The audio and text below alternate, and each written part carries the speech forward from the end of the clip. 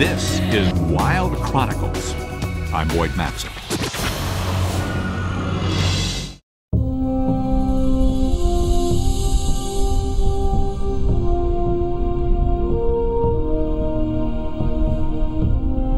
Beneath the Arctic ice, frigid water simmers with sound. For a brief time during the spring, strange animal noises fill the sea, like an orchestra tuning up before a performance.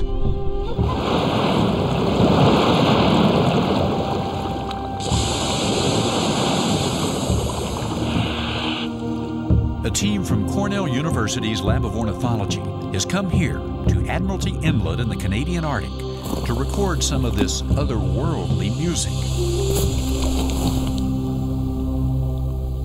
They're interested in bowhead and beluga whales, bearded and ring seals, and one particularly elusive denizen of the region, the narwhal. The complex sounds of this tusked wonder of the high Arctic have seldom been documented. The Lab of Ornithology is home to the Macaulay Library, a multimedia resource for the study of animal behavior.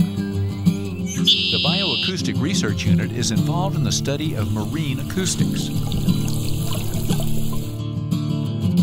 Cameraman David Brown has done a lot of underwater filming. He knows getting good pictures of a narwhal presents a tough challenge. Narwhal only occur in the Arctic. By definition, it's a difficult place to film. It's an extreme environment.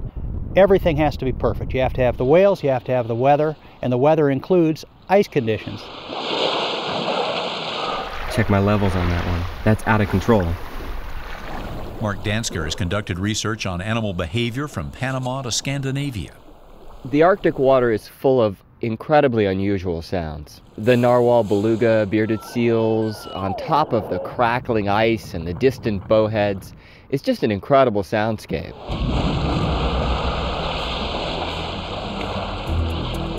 The marine mammals they're looking for congregate along the icy edge of Admiralty Inlet, waiting for the ice to break up before heading in to feeding and breeding grounds.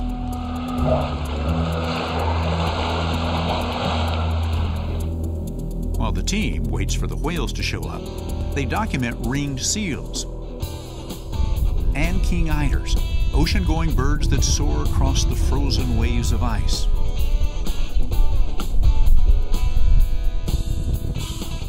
Frequent polar bear sightings add excitement to the location. One night we found a polar bear hunting along the ice, and it would detect a seal just underneath the snow, pounce down, shatter through the ice and the snow that was over the seal's pupping den, and then try to grab a seal before it made it down through its breathing hole into the ocean.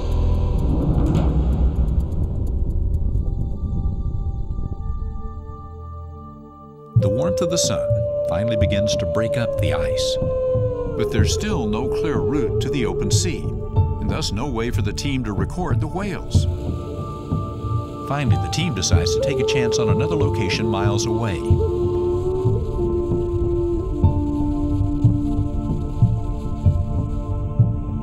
This is Lancaster Sound, but it's also covered with ice, too solidly packed to find the whales. However, that night the wind reverses itself and pushes the ice out to sea. The following evening reveals a very different landscape. The sea ice is gone, leaving a calm expanse of open water glimmering beneath the midnight sun. And then whales appear. First sighted are belugas, called the canaries of the sea because of the chirping and whistling sounds they make to communicate. But belugas are only a prelude to the main event the arrival of narwhals.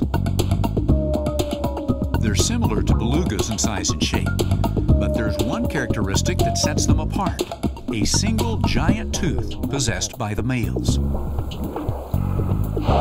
before the animal was known to science, narwhal tusks were marketed in Europe as unicorn horns. David braves the 28 degree water two tuskless female narwhals approach.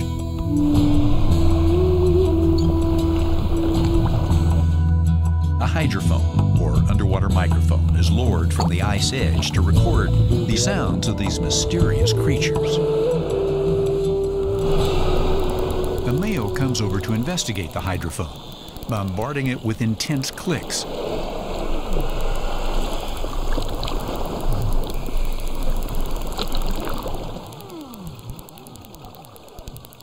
The rapid fire clicks bounce off a scanned object to create a detailed acoustic picture.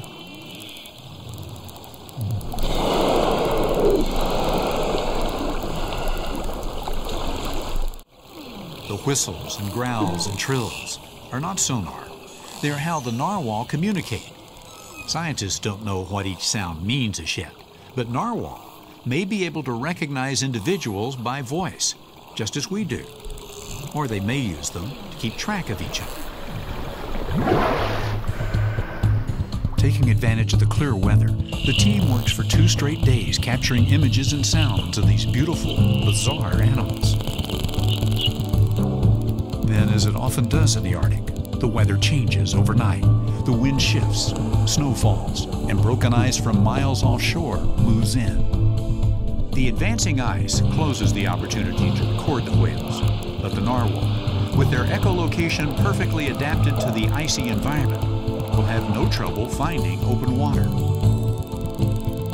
And the team can rest knowing that they've recorded a unique array of sounds from this beguiling and mysterious animal.